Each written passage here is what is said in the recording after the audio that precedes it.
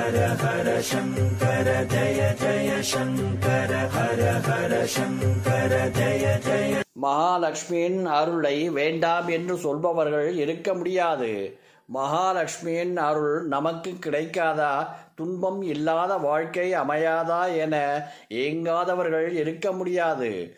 ஒருவர் இந்த பூமியில் நிம்மதியான நிறைவான வாழ்க்கை வாழ வேண்டும் என்றால் அதற்கு மகாலட்சுமியின் அருள் கண்டிப்பாக இருக்க வேண்டும். மகாலட்சுமியின் அருள் அனைவருக்கும் உள்ளது என்றாலும் ஏதோ ஒரு விதத்தில் நாம் அவளின் மனதிற்கு விருப்பமில்லாத செயல்களை செய்து கொண்டிருப்பதால் தான் பல விதமான துன்பங்களுக்கு ஆளாகின்றோம். அப்படி இல்லாமல் மகாலட்சுமியின் முழு அருளையும் பெறுவதற்கு அவளுக்கு பிடித்தவளாக நாம் இருக்க வேண்டும் என்பதற்கு என்ன செய்ய வேண்டும்? அதை தெரிந்து கொள்ளலாம். காக்கும் கடவுளான மகாலட்சுமியின் துணையாக அவரது திருமார்பில் நீங்காமல் இடம் பிடித்து இருப்பவள் மகாலட்சுமி.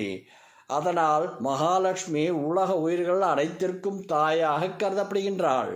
அவளுக்கு அனைவரையும் பிடிக்கும் தான் இருந்தாலும் மகாலட்சுமியின் மனம் கவர்ந்தவர்களாக நாம் இருந்தால் மகாலட்சுமியின் முழு அருளும் கிடைக்கும்.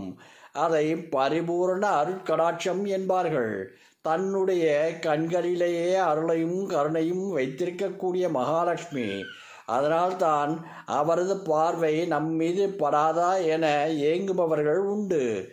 மகாலட்சுமியின் அருள் இருந்தால் காசு பணம் மட்டுமல்ல வெற்றி நிம்மதி ஆரோக்கியம் பசியில்லாத உணவு அழகு சந்தோஷம் என அனைத்து விதமான நலன்களும் கிடைக்கும். இவை அனைத்தும் அனைவருக்கும் கிடைக்கிறதா என்றால் கண்டிப்பாக கிடையாது.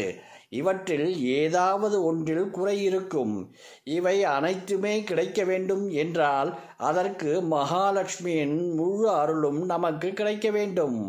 மகாலட்சுமிக்கு நம்மை பிடிக்க வேண்டும்.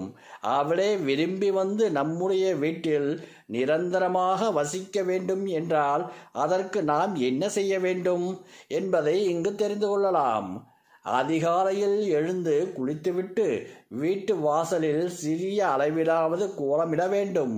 அதிகாலையில் குளிக்க முடியாது உடல்நிலை சரியில்லை என்பவர்கள் பல் துளக்கி விட்டு மஞ்சள் கலந்த தண்ணீரை சிறிதளவு எடுத்து தலையில் தெளித்து கொண்டு முழங்கை மற்றும் முழங்கால் வரை கழுவிவிட்டு வாசலில் சென்று கோலமிட வேண்டும். யாரெல்லாம் காலையில் எழுந்து மகிழ்ச்சியான மனதுடன் சென்று வாசலில் மங்களகரமாக கோலம் இடுகிறார்களோ அவர்களை மகாலட்சுமிக்கு மிகவும் பிடிக்கும். உங்களுடனேயே மகாலட்சுமியும் வீட்டிற்கு வந்து விடுவாள். பிரம்ம முகூர்த்த வேளையில் கை கால்களை கழுவிவிட்டு பூஜை அறைக்குள் சென்று வலது காலை எடுத்து வைக்க வேண்டும். பூஜை அறையில் விளக்கேற்றி ஊதுவத்தி மட்டும் ஏற்றி வைத்துவிட்டு வந்து விட்டால் போதும். அந்த வீட்டிற்கு மகாலட்சுமி வந்து விடுவாள். எந்த ஒரு வீட்டில் பிரம்ம முகூர்த்த வேளையில் விளக்கு ஏற்றப்படுகிறதோ அந்த வீட்டிற்கு மகாலட்சுமி வருவாள். அதோடு மகாலட்சுமிக்கு விருப்பமான ஊதுபத்தி பச்சை கற்பூரம் மனம் வெற்றிலை பாக்கு இங்கு இருந்தால் மன மகிழ்ச்சியுடன் வந்து தன்னுடைய பூர்ண அருளை வழங்கி அங்கே இருந்துவிட வேண்டும் என்று மகாலட்சுமி விரும்புவாள். சமையல் அறையை எப்போதும் சுத்தமாக வைத்திருக்க வேண்டும். தினமும் இரவில் தூங்க செல்வதற்கு முன்பு வீட்டில் சமையல் அறையை சுத்தம் செய்து அடுப்பை சுத்தமாக வைத்திருக்க வேண்டும். அடுப்பு வைத்திருக்கும் மேடையில் சிறிய கோலமிட்டு விட்டு செல்லுங்கள். காலையில் எழுந்து வந்ததும் அடுப்பை தொட்டு வணங்கிவிட்டு சமையல் வேலைகளை துவங்குங்கள். இப்படி தினம் செய்பவர்களை மகாலட்சுமிக்கு மிகவும் பிடிக்கும். எந்த வீட்டிற்கு சமையலறை சுத்தமாக உள்ளதோ அந்த வீட்டில் மகாலட்சுமியும் அன்னபூரணையும் மகிழ்ச்சியாக வந்து தங்குவார்கள். அந்த வீட்டில் குறைவில்லாத அரிசி தானியங்கள் பெருகிக்கொண்டே இருக்க அருள வேண்டும் என அன்னபூரணியிடம் மகாலட்சுமியே சொல்லுவாராம் வீட்டின் தரையில் குப்பைகள் இல்லாமல் சுத்தமாக வைக்க வேண்டும். சுத்தமாக இருக்கும் இடங்களை தான் மகாலட்சுமி மிகவும் பிடிக்கும். இரவில் வீட்டை துடப்பம் கொண்டு பெருக்கக்கூடாது. இருந்தாலும் கைகளால் சுத்தம் செய்து குப்பைகளை கைகளால் எடுத்து சுத்தம் செய்து விட வேண்டும். வீட்டில் நல்ல மனம் எப்போதும் இருக்கும்படி பார்த்து கொள்ள வேண்டும். மனதிற்கு அமைதியும் புத்துணர்ச்சியும் தரும் மனம் இருக்கும் இடங்களில் மகாலட்சுமி குடியேற விரும்புவாள்.